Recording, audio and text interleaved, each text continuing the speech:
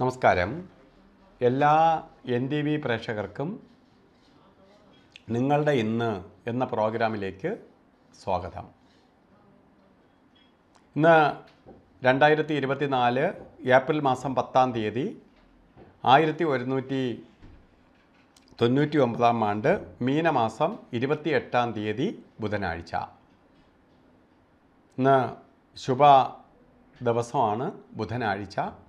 ബുധൻ പ്രവൃത്തികാരകനാണ് എല്ലാ കാര്യങ്ങൾക്കും അനുകൂലപ്രദമായ ദിവസമാണ് ബുധനെങ്കിലും. ഇന്നത്തെ നക്ഷത്രം ശുഭനക്ഷത്രമല്ല. ഭരണി നക്ഷത്രമാണ്. ഭരണി നക്ഷത്രം ശുഭനക്ഷത്രങ്ങളിൽ പെടുന്നതല്ല. അതുകൊണ്ട് ശുഭകാര്യങ്ങൾക്ക് ഭരണി നക്ഷത്രം എടുക്കാൻ പാടില്ല.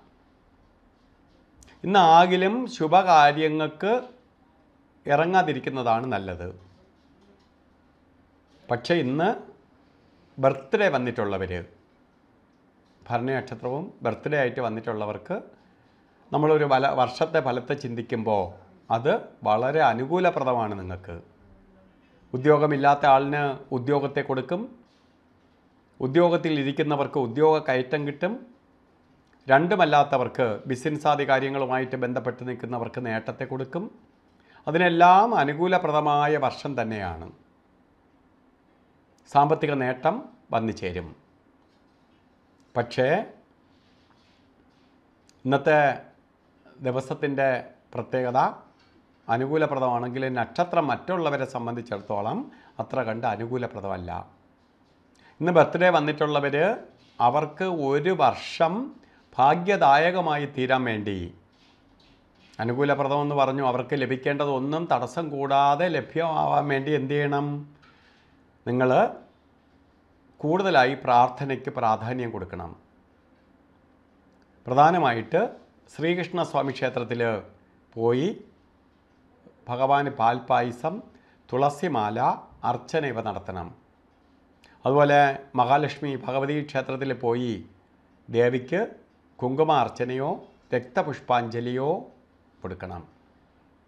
അതുപോലെ ഇന്നത്തെ ദിവസം ഭാഗ്യദായകമായി തീരാനും നമ്മളിലേക്ക് പ്രകൃതിയിൽ നിന്നുള്ള ബുധന്റെ പോസിറ്റീവ് എനർജി നമ്മളിലേക്ക് എത്താനുമായിട്ട് പച്ച കളറിലുള്ള വസ്ത്രധാരണം നടത്തുന്നത് ഏറ്റവും അനുകൂലപ്രദമാണ്.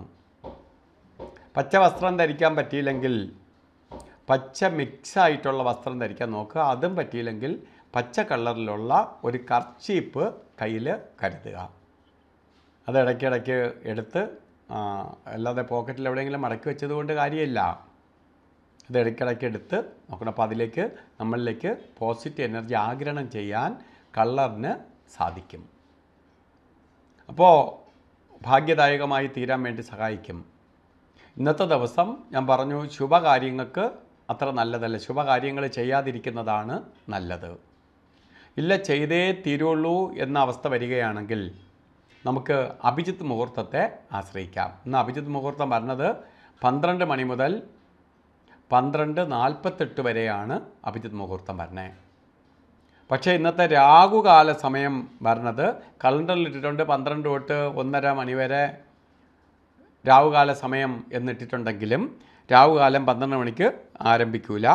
രാഹുകാല സമയം ആരംഭിക്കുന്ന പന്ത്രണ്ട് ഇരുപത്താറ് വരെ തൊട്ടേ രാഹുകാലം തുടങ്ങുകയുള്ളൂ. അപ്പോൾ ഒരു മണി അമ്പത്തി പന്ത്രണ്ട് ഇരുപത്താറ് തൊട്ട് ഒരു മണി അമ്പത്തേഴ് മിനിറ്റ് വരെ രാഹുകാല സമയം. എല്ലാ ശുഭകാര്യങ്ങൾക്കും രാഹുകാലം നമുക്ക് ഉപയോഗിക്കാം. എല്ലാ കാര്യങ്ങൾക്കും രാഹുകാലം അനുകൂലപ്രദവുമാണ്. യാത്രയ്ക്ക് മാത്രം എടുക്കരുത്. യാത്രാവേള ഒഴിവാക്കി കളയണം. യാത്രയ്ക്ക് നമ്മൾ രാഹു നോക്കിക്കൊണ്ടിരിക്കുന്ന സമയത്ത് മറ്റെല്ലാ കാര്യങ്ങൾക്കും കൊള്ളാം. എങ്കിലും യാത്രയ്ക്ക് ഇതെടുക്കുകയാണെങ്കിൽ നമ്മൾ പോകുന്ന കാര്യങ്ങൾ വിജയിക്കാതെയും വഴി കടന്ന് യാത്ര വഴിയിലായി പോവുകയും ഒക്കെ ചെയ്യുന്നതായി കണ്ടിട്ടുണ്ട്. അതുകൊണ്ട് രാഹുകാലം ഒഴിവാക്കുക. രാഹുകാല സമയം വരുമ്പോൾ പന്ത്രണ്ട് മണി മുതൽ പന്ത്രണ്ട് നാൽപ്പത്തെട്ട് വരെ രാഹുകാലം ഉണ്ടെങ്കിലും പന്ത്രണ്ട് ഇരുപത്താറ് വരെ തൊട്ട് രാഹുകാലം തുടങ്ങുന്നത് കൊണ്ട് അപ്പോൾ ശരിക്കും അഭിജിത് മുഹൂർത്തം പന്ത്രണ്ട് തൊട്ട് പന്ത്രണ്ട് നാൽപ്പത്തെട്ട് വരെ ഉണ്ടെങ്കിലും രാവുകാലം പന്ത്രണ്ട് ഇരുപത്താറ് തൊട്ട് ആരംഭിക്കുന്നത് കൊണ്ട് ആ ഇരുപത്താറ് മിനിറ്റ് നമുക്ക് എന്ത് ശുഭകാര്യത്തിന് വേണോ അന്നത്തെ ദിവസം എടുത്തേ തീരുള്ളൂ എന്ന അവസ്ഥ വരികയാണെങ്കിൽ നിങ്ങൾ എടുക്കണം. അന്നത്തെ ഗുളികകാല സമയം വരുന്നത് പത്ത് മണി അമ്പത്തിനാല് മിനിറ്റ് തൊട്ട് പന്ത്രണ്ട് മണി ഇരുപത്തിയെട്ട് മിനിറ്റ് വരെയും. യമകണ്ഠകാലം ഏഴ് മണി അമ്പത്തിരണ്ട് മിനിറ്റ് തൊട്ട് ഒമ്പത് ഇരുപത്തി മൂന്ന് വരെയും. ഈ സമയം ഒരു ശുഭകാര്യങ്ങൾക്കും എടുക്കരുത്. അപ്പോൾ ഇന്നത്തെ ദിവസം അത്ര കണ്ട് നല്ലതല്ല. പല കാര്യങ്ങളും മാറ്റിവെക്കാൻ പറ്റുമെങ്കിൽ ഇന്ന് മാറ്റിവെച്ച് കൊണ്ടുപോകുന്നതാണ് നല്ലത്. അപ്പോൾ എല്ലാ പ്രേക്ഷകർക്കും ഇന്നത്തെ ദിവസം കഷ്ടതയൊന്നും വരാതെ സന്തോഷപ്രദമായി തീരട്ടെ എന്ന് സർവേശ്വരനോട് പ്രാർത്ഥിച്ചുകൊണ്ട് നിർത്തുന്നു. നന്ദി നമസ്കാരം.